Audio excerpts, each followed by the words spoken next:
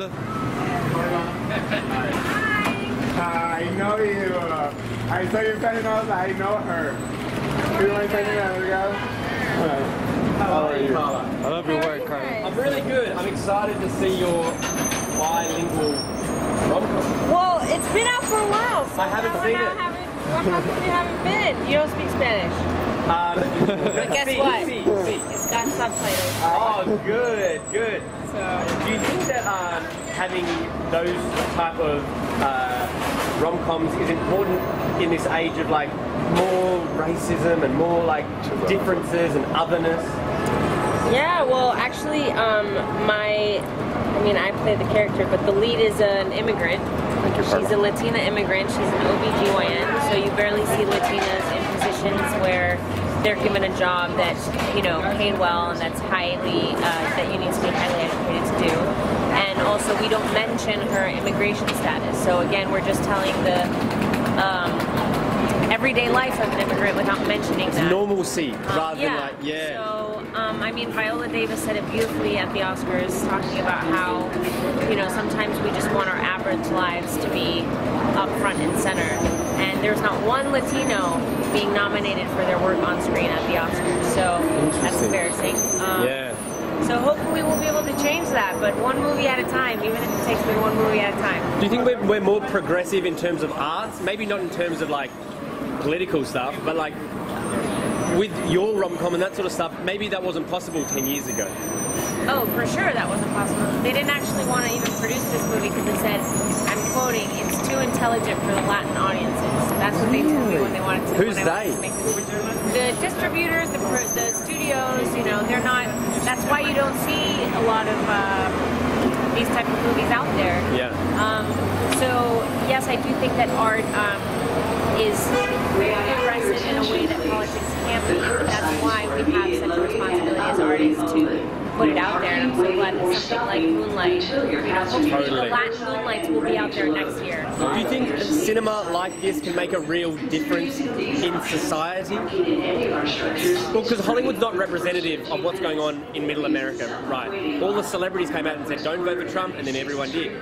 So, do you think a movie like this can actually change people's opinions who otherwise would have been against this sort of Yeah, I think something like Moonlight, even if it was just a $1.5 million movie, gives empathy to a story of an African American who um, who happens to be gay and Yeah. is It's the happens to be, isn't it? happens to be, yeah. Um, and I know that people, I think it's so important that it won because now more people are going to see it. And I think through cinema we can reach empathy, which, as Meryl Streep said, is the key to putting yourself into people's shoes and really fighting for other people's rights. So, Totally. When do you think we would see like maybe a Latino in the White House? Is that something within our reach?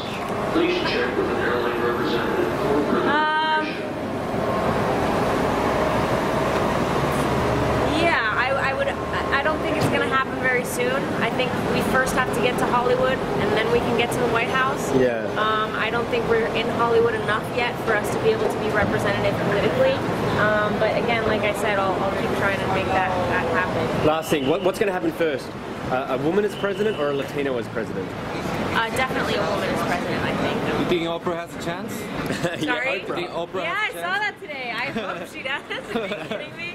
I want to, um, yeah, I definitely would love to see Oprah because she's been able to um, inspire a lot of people with what she does, and she knows, um, yeah, she knows the power of storytelling, and I think that um, the power of empathy and the power of representing the unrepresented. So I think she would make a great president. But America's too racist and sexist for that to happen soon, right? Um, Sorry, these are big questions. these are big questions for me on the street.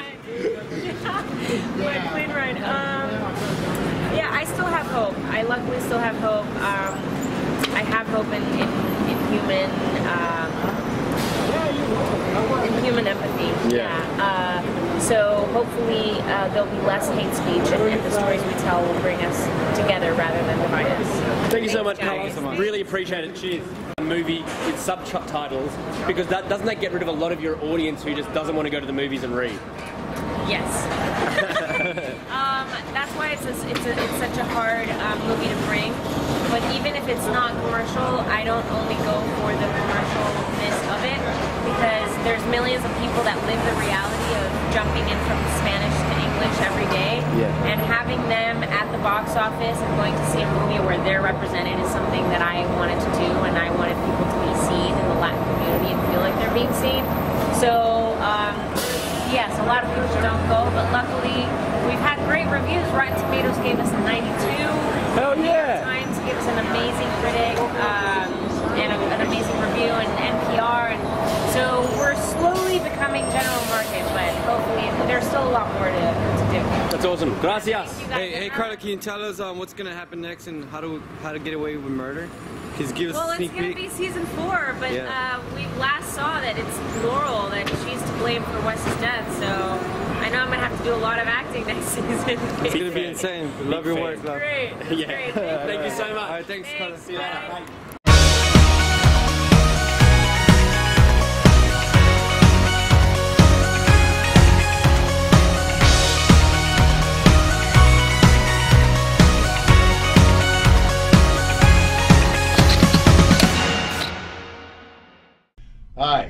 I'm MC Gainey.